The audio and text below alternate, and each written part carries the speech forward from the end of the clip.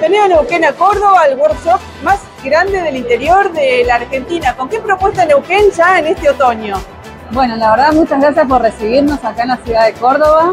Eh, venimos con todo lo que es la propuesta de temporada baja y obviamente ya nos estamos preparando para la temporada de invierno con la nieve en todos los centros de esquí que tenemos en la provincia de Neuquén. Bueno, tenemos vuelo directo desde Córdoba, así que para aprovechar tanto la ciudad de Neuquén como el aeropuerto de la ciudad de Bariloche, para poder visitar los centros de esquí de Villa La Angostura, de San Martín de los Andes, de Pegüeña con su parque de nieve, de Cabiahue también con su centro de esquí y obviamente recorrer todo lo que es la zona de la ruta de los siete lagos, la ruta del vino, combinar un poquito de nieve con otras actividades que estamos haciendo con la ruta del Pehuen, el norte neuquino, así que tanto en verano como en invierno y obviamente la temporada baja que nos viene con dos fines de semana largos, el de mayo y el de junio, también con lo del previaje, así que la verdad que muy contentos de recibir mucha gente de Córdoba en la última temporada de verano y bueno, los esperamos también ahora.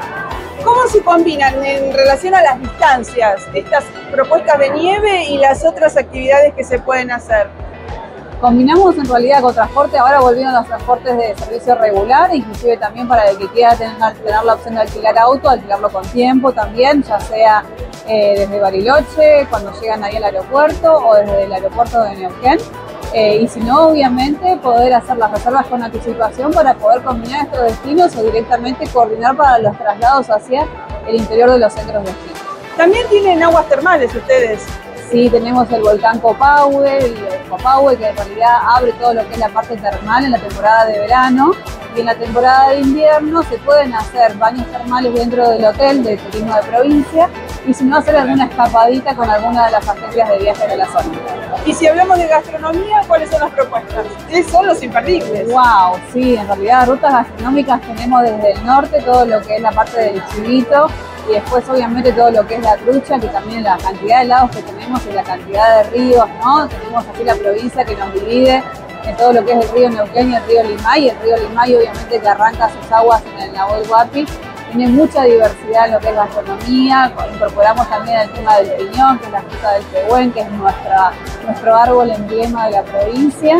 Y bueno, todas las combinaciones, tenemos muy buena gastronomía, muy buenos chefs, tenemos la escuela de cocineros también.